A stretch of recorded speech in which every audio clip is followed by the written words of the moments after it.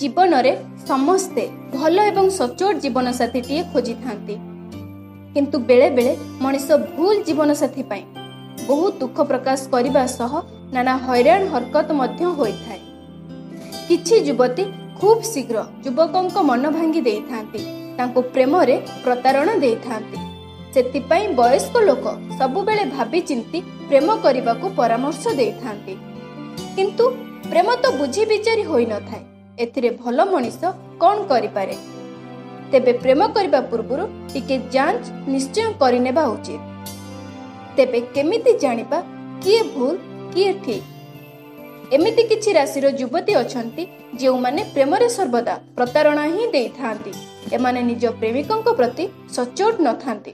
ଆସନ୍ତୁ ଜାଣିବା ଏହି ଚାରୋଟି ରାଶି ସମ୍ପର୍କରେ। ମିଥୁନ ରାଶି। ମିଥୁନ ରାଶିର ଯୁବତୀମାନେ ସବୁବେଳେ ନୂଆ ନୂଆ ପାର୍ଟନର ଖୋଜିଥାନ୍ତି।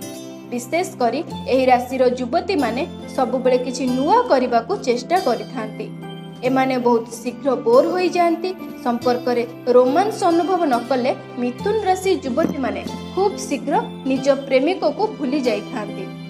ତେଣୁ ଏହା ପ୍ରେମିକର ଦାୟିତ୍ୱ କିଭଳି ସମ୍ପର୍କରେ ମଧୁରତା ବଜାଇ ରଖିବ? ତେଣୁ ଏହା ପ୍ରେମିକର ଦାୟିତ୍ୱ କିଭଳି ସମ୍ପର୍କରେ ମଧୁରତା ବଜାଇ ରଖିବା? ବିଛା ରାଶି ସାଧାରଣତଃ ବିଛା ରାଶିର ଯୁବତୀମାନେ କୌଣସି ପ୍ରତିଶ୍ରୁତି ଦେଇନଥାନ୍ତି ସେଥିପାଇଁ ଯେତେବେଳେ ତାଙ୍କ ପ୍ରେମିକ କୌଣସି ପ୍ରତିଶ୍ରୁତି ଦେବାକୁ ଇଚ୍ଛା କରନ୍ତି ସେତେବେଳେ ଏହି ରାଶିର ଯୁବତୀମାନେ ସମ୍ପର୍କ ଭାଙ୍ଗି ଦେଇଥାନ୍ତି।